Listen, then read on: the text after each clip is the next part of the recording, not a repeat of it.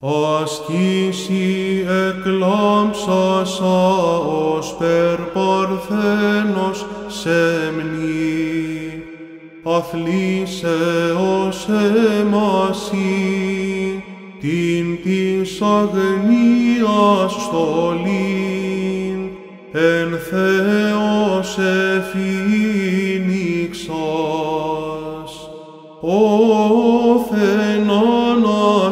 Αναστασία, ως οσία και μάρτης, χαριτασία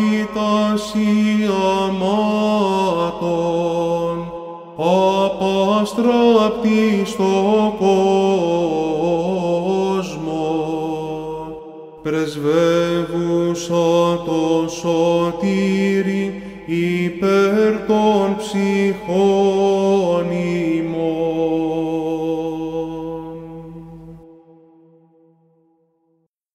Τη 29η του μηνός Οκτωβρίου, Αναστασίας ο Σιωμάρτυρος της Ρωμαίας, Αβραμίου Οσίου και Μαρίας της ανιψιάς αυτού, Κυρίλου, Μίνη και Μινέου των μαρτύρων, Άνης Οσίας της μετονομασθήσης Εφημιανός, Αθανασίου νεομάρτυρος του Ενμουδανίης, Τιμοθέου νεοσιομάρτυρος του Εσφιγμενίτου. Η Αγία Αναστασία η Ρωμαία, η Οσιομάρτης, έζησε στα χρόνια του Διοκλητιανού και καταγόταν από την Ρώμη. Όταν πέθαναν οι πλούσιοι γονείς της, διαμήρασε την περιουσία που κληρονόμησε στους φτωχούς και αποσύρθηκε σε μοναστήρι. Όταν την συνέλαβε ο ηγεμόνας πρόβος, υπενθύμησε στην Αναστασία την ανθυρή νεότητά της για την οποία θα έπρεπε να αρνηθεί το Χριστό. Τότε δυναμική υπήρξε και η απάντηση της Αναστασίας. «Εγώ μία ωραιότητα και νεότητα γνωρίζω», είπε, «εκείνη που δίνει ο Χριστός στις πιστές και γενναίες ψυχές που προτιμούν για Αυτόν τον θάνατο αντί άλλων εγκοσμίων αγαθών όταν αυτά προτείνονται για την προδοσία του Θεού. Πλούτη είχα πάρα πολλά, δεν τα θέλησα, αλλά το Χριστό μου τον θέλω και από Αυτόν καμία δύναμη δεν θα μπορέσει να με χωρίσει. Αν αμφιβάλλεις, δοκίμασε.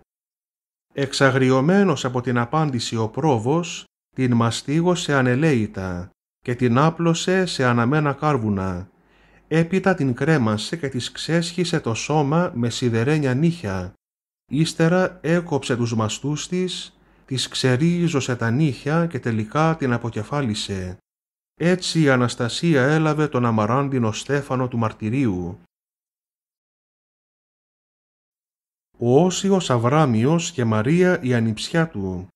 Αριστεύς της εγκρατείας και των πνευματικών ασκήσεων ο Όσιος Αβράμιος άφησε την μεγάλη περιουσία που κληρονόμησε στους στοχούς και αφοσιώθηκε ολοκληρωτικά στην διακονία του Θεού και του εμπεριστάτου συνανθρώπου.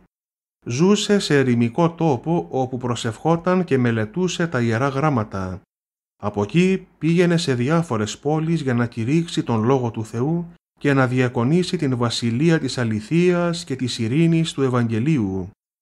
Η πίστη, η αγάπη και η υπομονή του κατόρθωσαν πολλές φορές να καταπραίνουν βάρβαρες καρδιές και να ελκύσουν στο Χριστό ψυχές υπερβολικά εξαγριωμένες. Πάνω από 70 ετών ο Αβράμιος διατηρούσε όλη τη ζωντάνια της ιεραποστολικής δράσης του και προστατευόμενος μάλιστα από την ηλικία του, μπόρεσε να αφοσιωθεί στην σωτηρία αμαρτωλών γυναικών. Κάποτε ευτύχησε να ανασύρει από τον βόρβορο της αμαρτίας και την κόρη του αδελφού του, τη Μαρία. Την είδε σε κάποιο πανδοχείο χωρίς να τη γνωρίζει, φορτωμένη με κοσμήματα και συντροφιά με ακόλαστους νέους. Η παραστρατημένη όμως νεαρή δεν είχε αποβάλει εντελώς τις ευσεβείς αναμνήσεις της.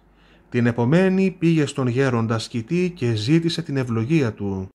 Εκείνος της απάντησε ότι δεν ωφελεί σε τίποτα η ευλογία των ανθρώπων όταν ο Θεός είναι αναγκασμένος να μην παρέχει την δική του. Τα λόγια αυτά συντάραξαν τη Μαρία.